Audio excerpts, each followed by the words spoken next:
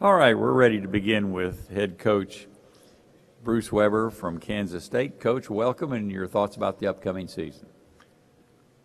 Well, I've said all since last spring uh, that uh, getting in the NCAA tournament and, and winning a game was great for our program. It was uh, it was a nice reward for our seniors, but I think more than anything, it was uh, a great motivator for our, our younger guys to have a taste of that. And uh, we've had a you know a very good off season. Uh, they, they've come to work. They uh, great leadership. Even though we really don't have, we have one walk-on senior. We don't have any seniors on scholarship, but that, that junior group, uh, the three guys that are here today, Barry Brown and Kamau Stokes and Dean Wade, have done a great job of leading and uh, pushing our guys and, and being great examples. And uh, it, has been fun to coach. It's it's been a it's a good group. We have bodies. We've had a lot of injuries the last few years, and uh, fans, sports writers know it. they don't. People don't care about it until you're, as a coach, you're involved with it, and you only have eight guys at practice, and you can't get much done. And uh, you know, this year, uh, we right now we'll, with walk-ons, we'll have 15, 16 guys, and you know, you get to you really get to go at it and practice, which it makes it much more fun for the coaches. Uh, I think it's going to help our level of uh, competitive spirit, and and I, I really am excited about our group. Okay, we'll take questions for Coach. If you'll put your hand up, we'll get the microphone to you. And if you will, again, please give your name and your affiliation. Well, we got a question over on the left-hand side about halfway back. Yeah, John Kurtz with KMAN. Uh, Barry said a few weeks ago he feels like this is becoming his team. Do you feel like that's a, a fair statement? Yeah, he's he and I don't. He watched Wes last year. Uh, Wandu kind of take over the team, and, and and they were kind of boys. They hung out a lot, and and Barry just saw how important it was to have somebody. Uh, be the verbal leader, be the you know not the example, but also say the right things and be the motivator. And, you know, start of practice, Barry's talking, end of practice, he's talking, in the locker room, he's talking. He's in the gym as much as anybody. And uh, he, he's kind of relished that role, uh, which is, it's as a coach, it's good to have somebody that will be verbal like that. It definitely helps us. Got a question on the aisle right up here on the right hand side. Uh, Sam Mellinger with the Kansas City Star. Bruce, did you have a reaction when you saw you were picked eighth? by the coaches? I, you know, it doesn't bother me. You know, I, hey, we got to do what we have to do, and I, I feel good about our team.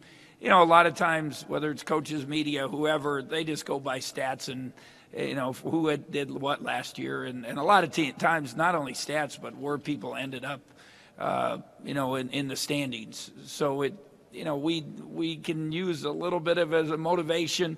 Uh, we we talked about even back in the summer when some of the stuff started coming out, you know, but all we have to do, we have to be prepared and come to work and, and take care of business, and I think we'll be fine.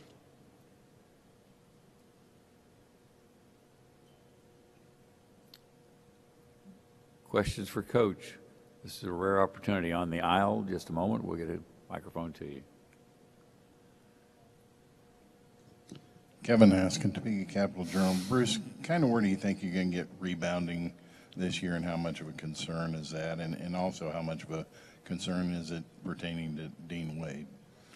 Uh, there is no doubt that's the number one emphasis I've made since the spring. If you look at our stats from the past few years, we've lost our leading rebounders, and and you know from Justin Edwards, Wesley Iwundu, uh, DJ Johnson, uh, and it, it's it's a concern. And, and, Saturday when we played the exhibition game against Missouri State, who is a very good rebounding team, a team that goes after, I thought it was good for us.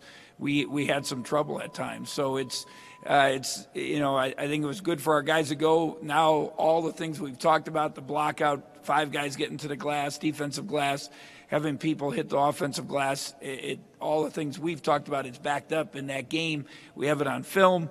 Uh, it, it, now when they we go through it in practice and drills, they'll take it more seriously. Uh, but you know, I, Dean's got to become. He's he should be. He had seven the other day in 20 20 minutes. Uh, You know, I think it should be a goal of him to- if- to be a double-digit rebounder. I think that would be a positive. I think he's capable of it. Uh, He's, his physic, physicality, his strength, his jumping, his athleticism is greatly improved.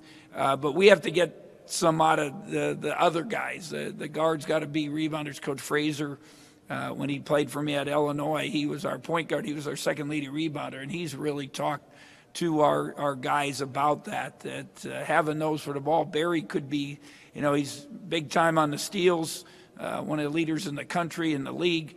Uh, he could also do the same thing on the defensive glass if he, with good activity. But it's something we're addressing, and hope, I I hope it doesn't become a factor of us becoming really a good team. Got a question on the aisle towards the right rear. Bruce Wendell Barnhouse, the field house. The, the, you mentioned the exhibition game, and it was against another D1 team. When you play exhibitions, they're usually against lower level. How much did you get out of that? And the fact that a lot of people are talking about this is a good thing that college basketball is doing things for charity. And would you like the NCAA to give teams an option, maybe instead of the secret scrimmages, to actually do a, you know, an exhibition game where it's for charity, something like that? I actually just said something to Coach Self about it. Uh, you know, obviously they had a game here and unbelievable success, and you know, raising nearly two million dollars for a, for a great cause. Uh, we didn't have quite the amount of money, but it was it was one. It was a good game for us. It, you know, we played a team that's. Uh, one of the favorites in the Missouri Valley. Uh, they have a lot of seniors. Um, our guys, uh, we had to come to play. I, I also appreciated Coach Lusk. We played everybody. You know, we, we kept our even. You know, we made sure the eight through thirteen got to play against each other, and and uh, you know, I thought our minutes were good, and yet we were competing, trying to play. I, the other thing I brought up to Bill was now with 30 days of practice over that six-week period. I think it's a it would be a good thing. I, I actually proposed it to the to the Big Ten several years ago to have. I know it's important for the Division two guys to have the opportunity to play us, and I appreciate that. But to have either the close scrimmage against the Division one, or to now to have an exhibition game and do some good out of it, uh, I think it would be a positive thing. There's no doubt about it. So it was good basketball wise. I, you know, hopefully raise some money and help some people out, and I hope it's something they look at.